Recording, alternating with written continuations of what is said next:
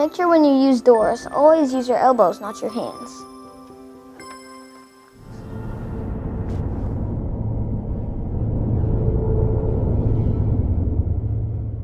Humphreys,